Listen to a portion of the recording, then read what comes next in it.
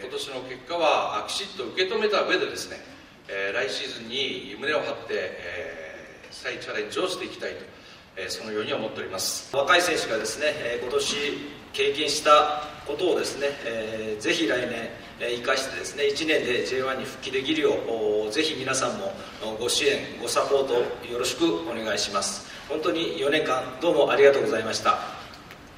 ありがとうございました。それでは乾杯。